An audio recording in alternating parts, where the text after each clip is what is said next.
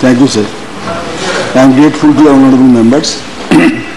sir, ये जो resolution Shri Vijay Pal Singh ji Tomar ने मूव किया मैं अंतर से इसको समर्थन करता हूँ क्योंकि जो जो मुद्दा उन्होंने उठाया सभी मुद्दा अहम मुद्दा है मेरे नज़रिया से और मैं सिर्फ़ एक बात इसके साथ जोड़ना चाहता हूँ उन्होंने यहाँ फार्मर सुइसाइड के बारे में बोला लेकिन एक समस्या।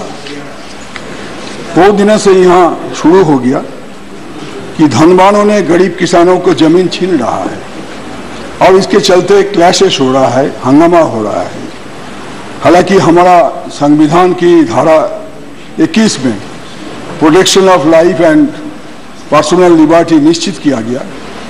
और यहाँ तक भी केंद्र सरकार ने national commission for schedule caste and schedule tribe भी गठन किया।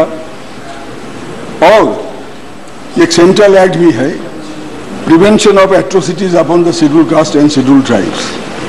But अभी जो हाल में देखा, हमारे देश के कोई प्रांत में दो दिन पहले मैं नाम नहीं लेना चाहता हूँ। दस आदिवासी किसानों को हत्या किया गया। इनमें से सात मर्द हैं और तीन महिलाएँ हैं।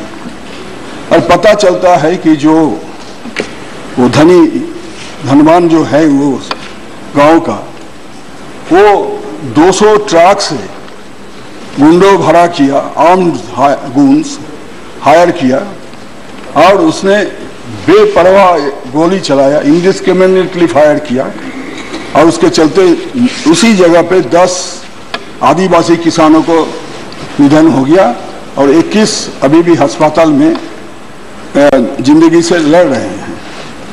तो इसके बारे में तो कुछ सोच होना चाहिए। इस सदन को ये गंभीरता से चर्चा करना चाहिए।